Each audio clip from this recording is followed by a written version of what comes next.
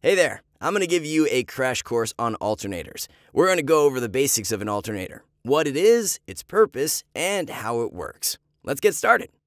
So first, what is an alternator? It's one of the main parts of an electrical system. The alternator is like the electrical power plant for the whole vehicle. The first job of the alternator is to generate energy to feed the electrical system. That is, power things like lights, climate control, entertainment systems, and more. Today, though, the alternator is responsible for powering even greater electrical loads. Most vehicles have mini computers in them as part of the engine, dashboard, and other smart electronics, so the alternator has to provide all the voltage and amperage to run the entire system. The alternator has a second job that basically works in tandem with the first. You may hear people say that the alternator charges the batteries, but it's more accurate to say it maintains the batteries. When you start the vehicle, it depletes some of the charge on the batteries. The alternator recovers that, so the next time you shut the vehicle off, you have enough juice to restart it. The alternator has what's called a regulator on it to help maintain battery charge.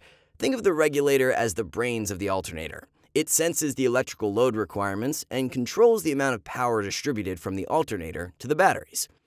Now, let's look at how an alternator actually works.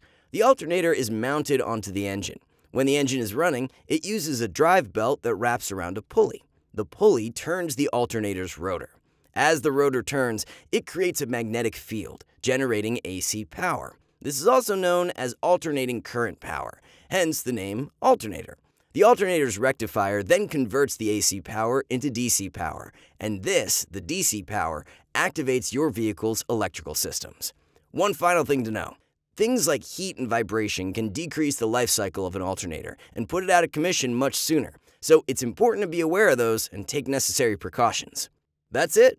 Now that you know the basics of an alternator, you're ready for a deeper dive. Check out our second alternator video to learn about brush versus brushless, mount types, and amp output.